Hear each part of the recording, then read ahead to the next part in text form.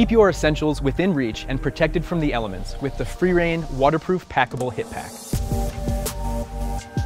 Ultralight UHMWPE reinforced Robic nylon panels deliver extraordinary durability and abrasion resistance.